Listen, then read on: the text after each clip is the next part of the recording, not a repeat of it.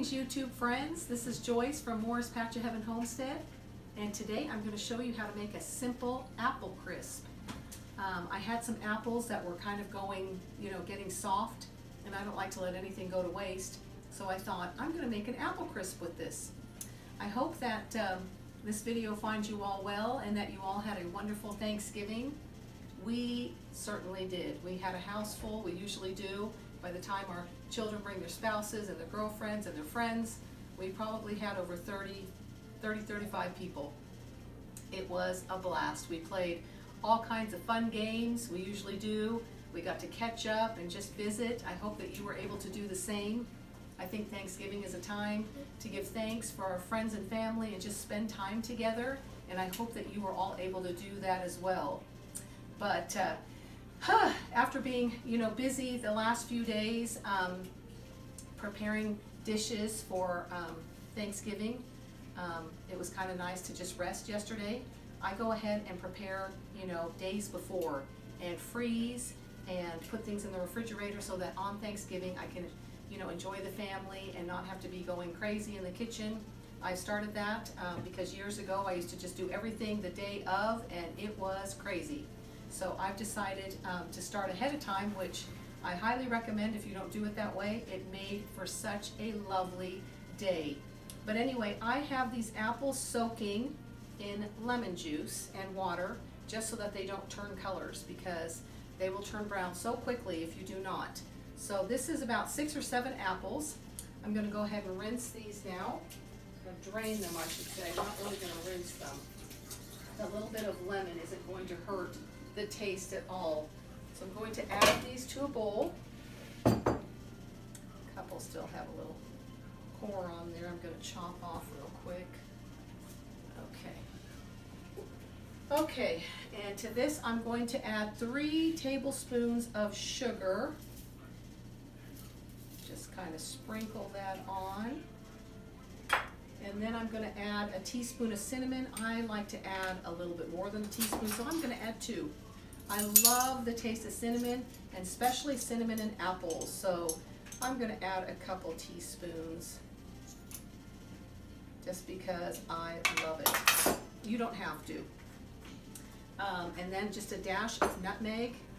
Guys, nutmeg is one of those things that is absolutely over the top.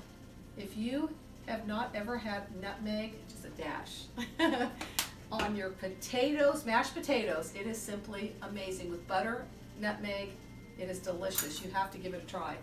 Okay, and just a fourth of a teaspoon of salt,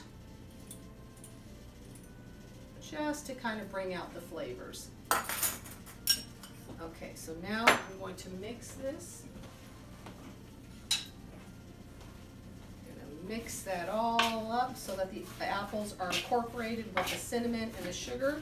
And you want to have a uh, baking dish already um, greased a little bit just so that the apples don't stick.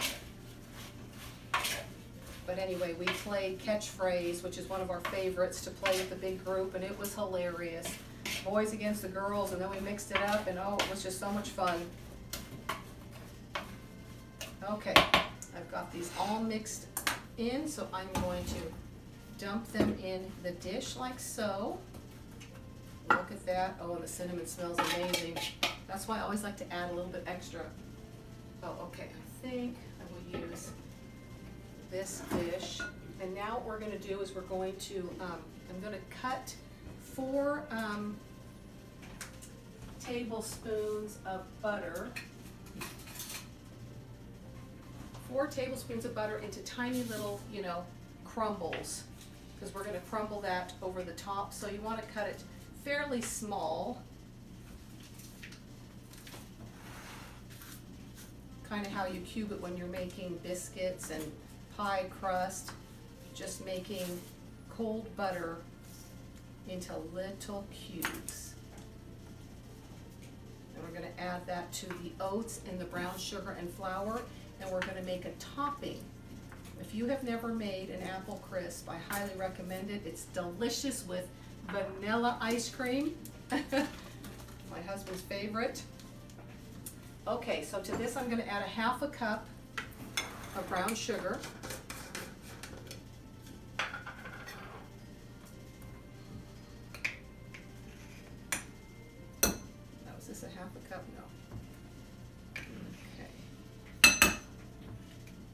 More.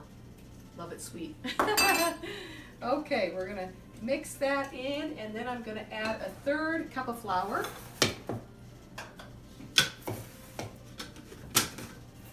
We had turkey and ham yesterday just because we had such a big group.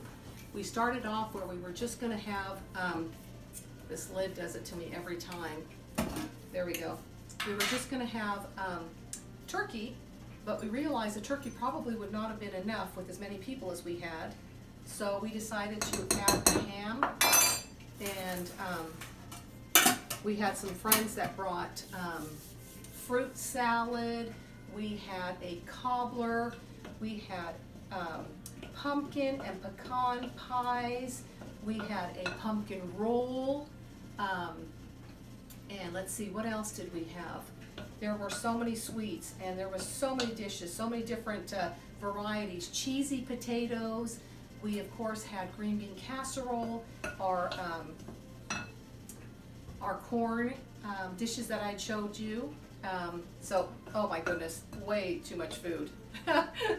okay, to that I'm going to add a half a cup of oats. Getting carried away here, not concentrating. Okay, and then just a little bit more of the salt. Again, just to bring out the flavors. Okay.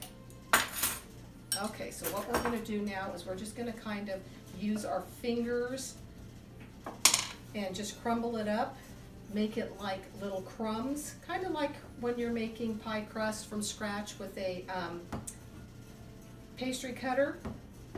Um, you can also just kind of do it with your fingers. And so this butter is going to incorporate into all of this and it's just going to make crumbs. So you can also do this in the food processor, which I've done before, but I decided instead of making all the noise, I would just do it like this. Okay. We're excited because tomorrow, um, Gary and Cindy Cargill from Pathway Homestead are coming to visit. And so we are just so excited, um, just love the homesteading community and meeting new people. And they are coming to visit with us for a few hours and we're gonna have a meal together. So that is so exciting. Okay, I think I got it nice and crumbled. So now what I'm gonna do is I'm just gonna kind of sprinkle it over the top. Oh boy, if you could smell this. One of these days we may have where you can smell at the same time as watching. So not just watch, but you can smell. And wouldn't it be amazing if you could taste? Who knows?